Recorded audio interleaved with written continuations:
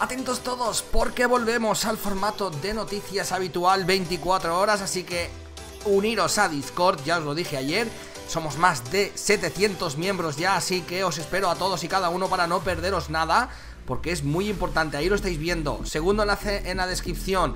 Y una novedad de las noticias. Tendremos mi opinión personal siempre al final de todas las noticias.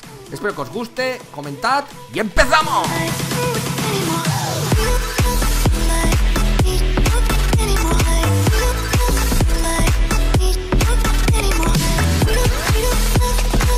Y atentos todos, el próximo viernes, según esta filtración, Warner junto con DC Comics anunciaría su nuevo juego llamado Outlaws.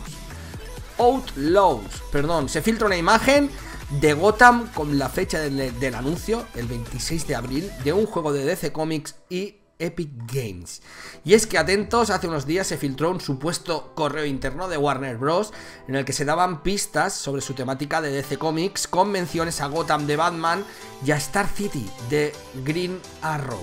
Rápidamente se relacionó con Escuadrón Suicida y Rocksteady, aunque el texto solo indicaba multijugador online centrado en la cooperación y el combate, personalización y colección de botín o habilidades especiales. Un nuevo rumor, filtrado en 4chan y recogido en Resetera, presentó una imagen promocional del juego, cuya imagen no puedo poner en pantalla porque es una filtración. El juego se llamaría Out, Outlaws y asegura que se ha anunciado este viernes 26 de abril en redes sociales. La ciudad de la captura se reconoce fácilmente por el edificio con el logo de Wayne Enterprise, es Gotham, y se especula con que tenga relación con Red Hood and the Outlaws, una historia de redención de Jason Todd con Red Hood, acompañado de algunos antihéroes como Roy Harper, eh, Arsenal, eh, compañero de Green Arrow. Eh, Red Hood tuvo un pack descargable en Batman Arkham Knight. es un proyecto diferente al de Rocksteady, pues como podemos ver en el texto legal de C Comics y Epic Games, pero no está claro si la mención a Epic se debe por el uso de un Real Engine 4 o algún tipo de exclusividad en la Epic Games Store o una participación en el desarrollo. No hay ninguna conexión con Rocksteady, los desarrolladores de Batman Arkham.